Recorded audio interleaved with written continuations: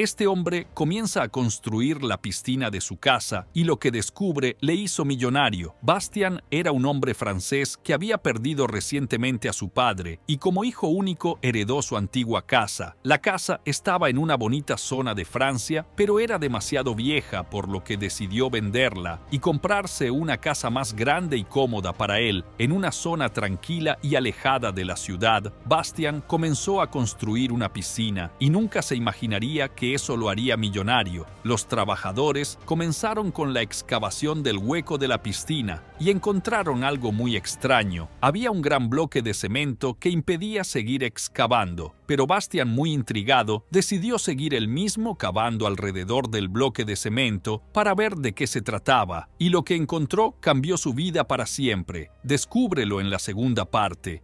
Este hombre comienza a construir la piscina de su casa y lo que descubre le hizo millonario parte 2. Bastian intrigado se pasó día y noche cavando alrededor del bloque de cemento para descubrir qué secreto se esconde bajo su jardín. Bastian estaba ya agotado de cavar, pero se da cuenta que había algo de hierro bajo su pala. Se trataba de una puerta. Muy sorprendido por el hallazgo, abrió la puerta y lo que descubre lo dejó sin palabras. Bastian bajó unas escaleras de caracol que lo llevaba a un gran pasillo. Estaba muy nervioso y emocionado por su descubrimiento, y en el final del largo pasillo había otra gran puerta de hierro que llevaba a un búnker muy antiguo, lleno de provisiones, equipo de supervivencias y artilugios de mucho valor. Bastian no podía creer lo que estaba bajo su jardín, terminó vendiendo piezas muy valiosas y se hizo millonario.